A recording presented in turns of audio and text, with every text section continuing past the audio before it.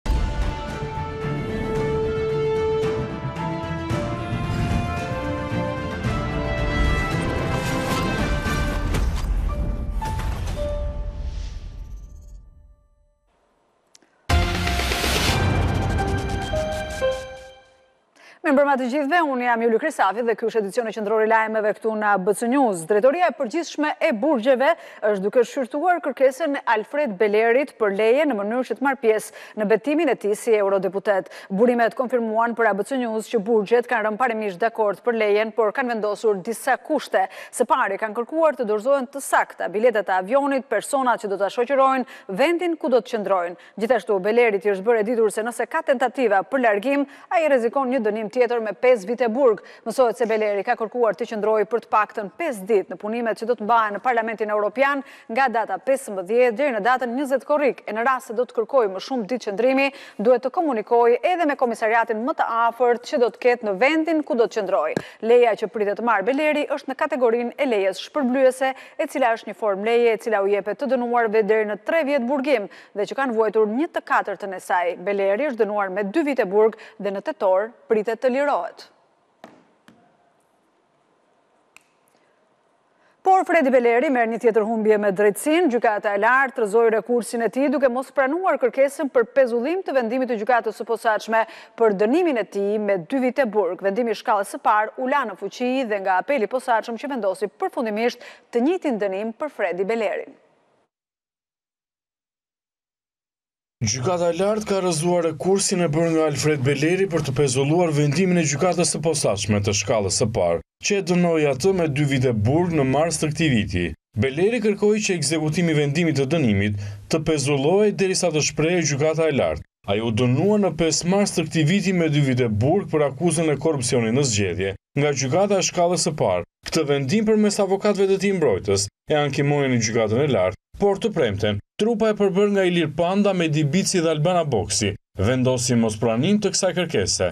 Vendimi i Shkallës së Parë u la në fuqi në njëzet e pesë qershor edhe nga Gjykata e Apelit të Posaçëm, duke e dënuar përfundimisht Alfred Belerin me dy vite burg. I njëjti vendim u la në fuqi edhe për bashkëpunëtorin e tij Pandali Kokaveshi, që u gjet fajtor për të njëjtën akuzë, por ndryshe nga Beleri, ai u dënua me katër vite shërbim prove për shkak të gjendjes shëndetësore. Alfred Beleri u arrestua në dymbëdhjetë maj të vitit të kaluar, vetëm dy ditë para zgjedhjeve lokale për Bashkinë e Himarës, ku garonte në siglën e koalicionit Bashkë Fitojmë, Pas protestës së mbrëmshme të opozitës që ishte përplasja më e dhunshme e një viti dhe në qendër të së cilës ishte bashkia, policia po procedon në gjendje të lirë 8 nga autorët e akteve të dhunës. Ndërsa u pyet nga ABC News pse nuk pati arrestime në flagrancë, drejtori i Policisë së Tiranës tha se kanë zbatuar ligjin. Ndaj kryeministrisë dhe bashkisë u hodh zjarr dhe molotov, Mbështetësit e Berishës dogjën edhe flamurin kombëtar në ndërtesën e bashkisë, duke rrezikuar edhe jetën e policëve ndërsa bënin thirrje për lirimin e tij. Një ditë pas akteve të dhunës nga protestuesit e opozitës përballë kryeministrisë dhe Bashkisë së Tiranës, Policia e Shtetit ka vënë nën hetim në gjendje të lirë tetë persona për hedhje molotovi, flakadanësh dhe sende të forta në drejtim të uniformave blu. I pyetur nga ABC News se pse policia nuk i arreston në flagrancë persona që konstatohen me shishe me molotov, me maska, apo në momentin që përfshihen në akte dhune, drejtori i Policisë së Tiranës Tonin Vocaj u shpreh se kanë zbatuar procedurën e miratuar nga drejtori i përgjithshëm i Policisë, Muhamet Rrumbullaku. Në të gjitha rastet e protestave, Policia e Shtetit, Konkretisht, Drejtoria Vendore e Policisë Tiranë respekton Kushtetutën e Republikës së Shqipërisë, ku e drejta për pjesëmarrje në tubime paqësore dhe pa armë është e garantuar. Njëkohësisht, ne kemi zbatuar ligjin e posaçëm që ka nxjerrë Kuvendi i Shqipërisë për tubimet, si dhe procedurën standarde të miratuar nga Drejtori i Përgjithshëm i Policisë. Që në nisje të protestës së njëmbëdhjetë korrikut, policia sekuestroi së paku 5 qese të mbushura me gurë, që ishin fshehur në lulishte ngjitur me kryeministrinë. Ato dyshohet se do të përdoreshin nga protestuesit. Sapo ish-kryeministri Sali Berisha filloi të fliste mbrëmjen e së enjtes nga arresti shtëpiak, dhjetëra persona të maskuar dhe që mbanin syze e kapele, hodhën molotov në dyert e kryeministrisë. Pasi mbaruan me aktet e dhunës përballë godinës së kryeministrisë, protestuesit u zhvendosën tek dera e Bashkisë së Tiranës, aty ku vijuan me skenarin e njëjtë të hedhjes së molotovit dhe sendeve të forta kundrejt Policisë së Shtetit. Teksa hidheshin dhjetëra molotov, Te godina e Bashkisë së Tiranës mori flakë edhe flamuri kombëtar. Por pavarësisht kësaj, protestuesit nuk u ndalën, pasi një shishe e dytë e mbushur me benzinë shpërtheu sërish në dritaren e Bashkisë, duke i vënë flakën për herë të dytë flamurit kombëtar. Është dashur ndërhyrja e forcave zjarrfikëse të cilët hodhën ujë për të shuar flakët. Në një tjetër rast, Një nga molotovët e protestuesve të opozitës shpërthyen në grumbullin e efektivëve të policisë, duke u rrezikuar seriozisht jetën. Agjentët e policisë kanë filmuar disa persona të maskuar, me kapele dhe me syze, të cilët dyshohet se janë pikërisht persona që kanë hedhur molotov, gurë dhe sende të forta në drejtim të policisë. Erion Veliaj reagoi për dhunën e ushtruar nga militantët e Berishës gjatë protestës përpara bashkisë, kryebashkiaku dënoi djegjen e flamurit dhe tha se autorët politikë të këtyre akteve do të marrin përgjigje nga qytetarët me votë duke kaluar nga humbja në humbje. Kryebashkiaku i Tiranës Erion Veliaj dënoi djegjen e institucioneve dhe flamurit kombëtar gjatë protestës së opozitës të enjten. Është e neveritshme. Unë e kuptoj të kesh ambicie të kandidosh, të kesh ambicie të shkosh nga humbja në humbje me me energji të jashtëzakonshme, siç ndodh me kundërshtarët tanë, po ta kthesh këtë në ambicie, në një produkt dhune, ku digjet edhe përdhunohet simboli kombëtar, ku digjet flamuri kombëtar, ku digjen institucionet që janë monumente kulture. As kryeministria, as bashkia nuk janë ambiente personale. Janë monumente kulture që do i shërbejnë çdo qeveri dhe çdo bashkie që do shërbej aty. Kur shkon dhe djeg bashkinë, kryeministrinë, flamurin, tregon që je komplet jo, jo dinjitoz, për t'u konsideruar si një ofertë serioze. Për këto akte, kryebashkiaku tha se përgjigja do të vijë nga qytetarët.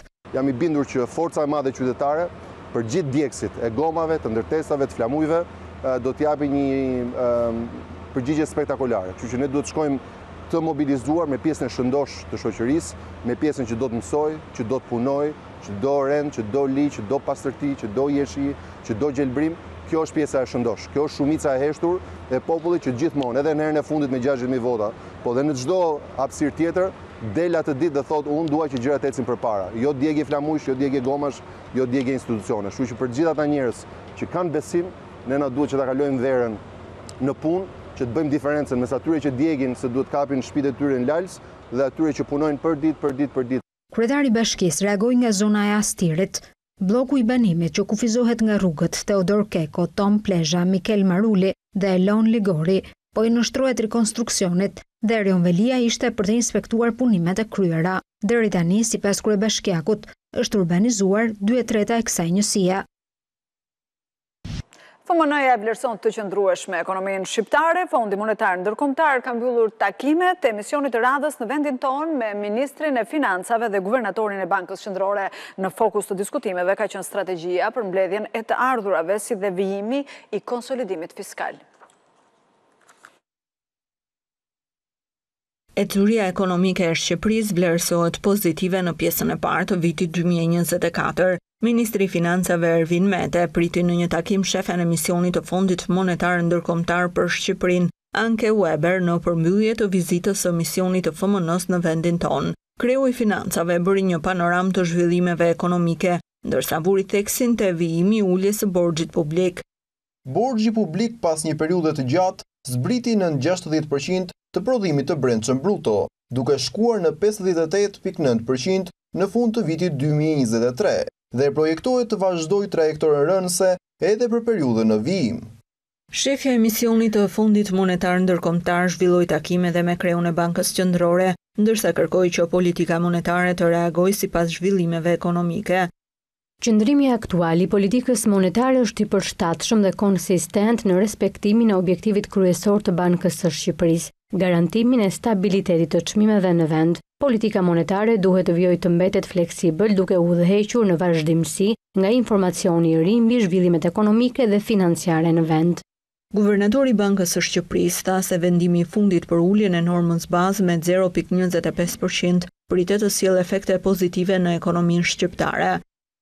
Banka e Shqipërisë vlerësoi se lehtësimi i qëndrimit të politikës monetare pritet të krijojë kushte më të përshtatshme monetare për respektimin e objektivit të stabilitetit të çmimeve. Në fokus të takimit të ekspertëve të FMN dhe institucioneve shqiptare financiare ishte analiza e situatës më të fundit ekonomike në vend, projeksionet për të ardhmen si dhe diskutimi mbi politikat e ndjekura. Qytetarët apo bizneset që kanë në plan të shesin një pasuri të paluajtshme kanë shtyrë një vendim të tillë në pritje të miratimit të ligjit të rivlerësimit në bazë të cilit do të paguajnë tatim tre për qind dhe jo pesëmbëdhjetë për qind sa është aktualisht. Agjentët e tregut kërkojnë sa më shpejt një vendim përfundimtar në mënyrë që të rrisin transaksionet e lëna pezull. Mbeten pezull transaksionet e shitjes dhe blerjes të pasurive të paluajtshme në pritje të miratimit të ligjit të rivlerësimit. Qeveria ka hedhur për konsultim draftin për rivlerësimin e pasurive, në bazë të të cilit tatimi do të ulet në tre për qind nga pesëmbëdhjetë për qind që është aktualisht. Kjo ka shtyrë kryerjen e transaksioneve nga qytetarët dhe bizneset, të cilët presin miratimin e ligjit. Kjo për shkak se kushdo që ishte bërë gati të tregtonte pasurinë e vet, është stepur e ka tërhequr mbrapsht deri në momentin që do të ketë një qartësi se sa do të paguajë në momentin e transaksionit. Edhe është e kuptueshme, sepse kur flitet nga pesëmbëdhjetë për qind në tre për qind, është pesëfish më pak, kështu që gjithsecili arrin të bëjë llogaritë edhe do të dëshirojë të të kursejë. Operatorët e tregut theksojnë se gjatë këtij viti Kursi i dobët i euros ka nxitur perceptimin se rritja e çmimeve ka qenë më e madhe në tregun e pasurive të paluajtshme. Kemi arritur në konkluzionin që edhe këto çmime të cilat shfaqen çmime të rritura, duhet të jemi të kujdesshëm duke i zhveshur nga efektet e kursit këmbim. Ne dimë që tashmë euro ka zbritur në nivelin e njëqind lekëve, kështu që nëse i konvertojmë në monedhën kombëtare, patjetër do kuptojmë që trendi, presioni rritës dhe trendi rritës i çmimeve nuk është ai reali që perceptojmë në jetën e përditshme për shkak se janë efektet e kursit. Drafti për rivlerësimin është dorëzuar në Kuvend dhe synimi i këtij projektligji është rivlerësimi i pasurive të paluajtshme për të gjithë individët deri në datën tridhjetë qershor dy mijë e njëzet e pesë. Po ashtu, ndryshe nga herët e tjera, është parashikuar që të aplikohet i njëjti nivel tatimi edhe për transaksionet që do të kryhen nga bizneset. Ndryshimi i avokatëve nga deputeti Ervin Salianji në gjyqin e tij për çështjen Babalja u bë shkak për një tjetër shtyrje të procesit në apel. Të sapoardhur në këtë çështje dy avokatët kërkuan më shumë kohë për t'u njohur me dosjen. Shtyrja e gjyqit u kundërshtua nga avokati i Geron Xhafajt. Gjykata e Apelit të Përgjithshëm nuk zhvilloi as këtë të premte seancën ndaj deputetit të Partisë Demokratike, Ervin Salianji, në lidhje me dosjen Babalja. Shkak për shtyrjen u bënë dy avokatët e rinj të zgjedhur nga ana e Salianjit. Deputeti demokrat ka ndërruar avokatin Ledio Braho dhe kërkoi të përfaqësohej në këtë seancë me dy avokatët, Redi Ramaj e Marash Logu. Këta të fundit i kërkuan kohë gjykatës për t'u njohur me dosjen dhe seanca u shty më datë njëzet e pesë korrik në orën dhjetë. Për avokatin Ardian Visha që përfaqëson në këtë proces Geron Xhafën, vëllain e ish-ministrit të Brendshëm Fatmir Xhafa, shtyrja e seancës është një përpjekje për të zvarritur procesin. Ervin Salianji u shpall fajtor nga Gjykata e Shkallës së Parë në vitin dy mijë e nëntëmbëdhjetë me akuzën e kallëzimit të rremë dhe u dënua me një vit heqje lirie. Sipas prokurorisë, dy audio-përgjimet që publikoi Salianji në vitin dy mijë e tetëmbëdhjetë, ku pretendohet se Geron Xhafaj, vëllai i ish-ministrit të Brendshëm të asaj kohe, Fatmir Xhafaj, ishte i përfshirë në trafikimin e lëndëve narkotike, ishin të montuara. Olsi Rama, vëllai i kryeministrit, u paraqit sot sërish në SPAK lidhur me dosjen Xibraka. Ai u tha gazetarëve pas daljes nga Prokuroria e Posaçme se kishte dhënë informacione si person në dijeni. Olsi Rama, vëllai i kryeministrit Edi Rama është paraqitur të premten në Prokurorinë e Posaçme, ku ka dhënë sqarime në lidhje me verifikimet që po zhvillohen për dosjen Xibraka. Pas qëndrimit për më pak se pesëdhjetë minuta në Prokurori, në dalje deklaroi se ishte thirrur si person që ka dijeni. Sqarova, bëra detyrën time si qytetar për organet e drejtësisë, për çështjen Xibraka, po për atë çështje si person në dijeni apo si nën hetim. Thjesht për të thënë ato gjëra që duhet të thoja. SPAK po kryen verifikime në lidhje me dosjen Xibraka, ndërsa kjo është hera e dytë që Olsi Rama paraqitet në prokurori. Emri i tij është përmendur nga deputeti i Partisë Demokratike, Gazment Bardhi, si i përfshirë në atë që njihet si dosja Xibraka. Edhe pse Bardhi ka pretenduar se ka dorëzuar një kallëzim në prokurori, SPAK konfirmoi se nuk ka asnjë të tillë në regjistrin e kallëzimeve. Për këtë Olsi Rama depozitoi një padi për shpifje në Prokurorinë e Posaçme, ndaj deputetit të Partisë Demokratike Gazment Bardhi. Policia e Tiranës vuri në pranga nëntëmbëdhjetë persona të dyshuar për shpërndarje droge. Gjatë operacionit u sekuestrua mbi një kilogram kokainë dhe droga të llojeve të ndryshme. Policia e Tiranës ka ekzekutuar masat e sigurisë arrest me burg për 19 persona, të cilët akuzohen për shpërndarje të lëndëve narkotike, kokainë, heroinë dhe kanabis në zonat pranë shkollave dhe në lokalet e natës. Në total Gjykata e Tiranës ka lëshuar 24 masa arresti me burg, nga të cilët 5 persona vijojnë të jenë ende në kërkim nga policia, për shkak se nuk janë gjetur gjatë kontrolleve të zhvilluara. Drejtori i Policisë së Tiranës tha se hetimet për këtë operacion kanë nisur rreth tre muaj më parë, ndërsa dha edhe bilancin lidhur me sasinë e kokainës së sekuestruar. Një pikë dy kilogramë lëndë e dyshuar narkotike kokainë, qindra doza me lëndë të dyshuar narkotike heroinë dhe kanabis, dymbëdhjetë aparate celularë, pesë automjete, shuma të konsiderueshme parash në lekë dhe valuta të tjera të dyshuara të përfituara nga shitja e lëndëve narkotike. Midis personave për të cilët Gjykata e Tiranës ka vendosur masën e sigurisë së arrestit në burg është edhe Armando Xheladini, i cili përdorte edhe identitetet si Etnor Cinollari apo Armando Tarushllari. Ky i fundit është arrestuar në maj të këtij viti për vrasjen e Arjan Xhambazit në vitin dy mijë e tetë në Athinë. Ndërkohë sipas policisë hetimet po vijojnë për kapjen e personave të tjerë, të cilët dyshohet që janë të përfshirë në këtë rrjet shpërndarësish droge. Gjykata e posaçme la në qeli pa afat Xhelal Rajën, i vënë në pranga me kërkesë të SPAK-ut me dyshimet se është pjesë e një grupi kriminal për atë Durim Bamit që ka tentuar vrasjen e ish-deputetit Arben Ndoka. Në lidhje me akuzat dhe dyshimet e ngritura, Xhelal Raja u deklarua i pafajshëm.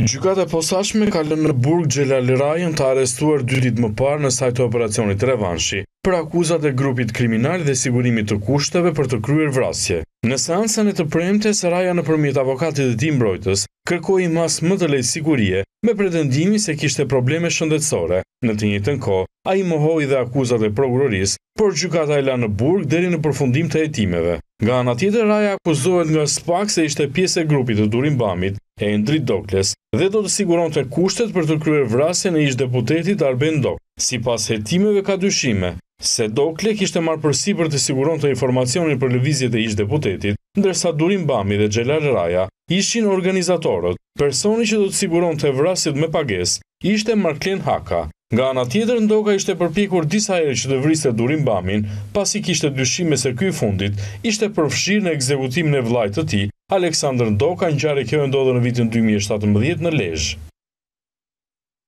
Temperaturat ekstreme të kësaj jave po sjellin probleme me shëndetin, sidomos për më të vegjlit, në pediatrinë e QSUT-së çdo ditë paraqiten rreth dyqind e dyzet të mitur, një pjesë e të cilëve kanë nevojë për shtrim. Mjekët thonë se shqetësimet më të shumta janë me rrugët e frymëmarrjes dhe të aparatit tretës. I nxehti dhe plazhi ka rritur numrin e fëmijëve që kanë nevojë për ndihmë mjekësore, ndërsa shqetësimet më të shpeshta janë ato të traktit tretës.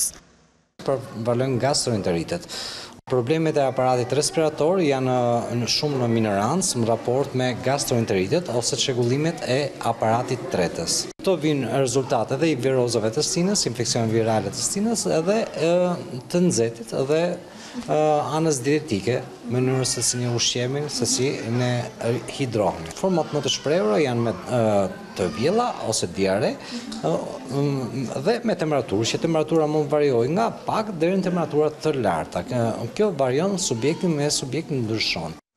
Urgjenca e pediatrisë në qendrën Nënë Tereza në Tiranë pret rreth dyqind e dyzet pacientë në ditë. Fluksi shtohet gjatë fundjavës dhe sipas mjekëve nuk mungojnë rastet kur fëmijët kanë nevojë për trajtim në spital.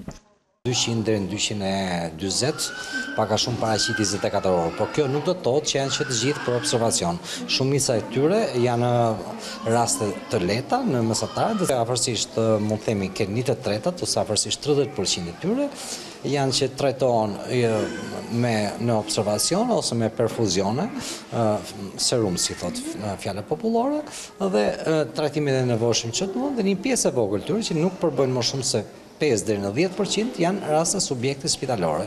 Fundjava ka një fluks më të shtuar, nuk mund të lidhet më shumë me morbiditetin, mendoj se sa me të qenë fundjavë dhe sistemi ambulator mbase nuk është më e reduktuar. Nuk kanë munguar problemet me rrugët e frymëmarrjes apo të prekurit nga virusi Coxsackie, por rastet janë më të pakta. Në këto ditë me temperatura të larta, mjekët këshillojnë prindërit të mos i ekspozojnë fëmijët në orët e pikut, të bëjnë kujdes me ushqimin dhe t'u japin sa më tepër lëngje. E mbyllim këtu këtë edicion informativ, por gjithë zhvillimet e fundit i gjeni si gjithmonë në faqen tonë të internetit abcnews.al si dhe në Radio ABC njëqind e pesë FM.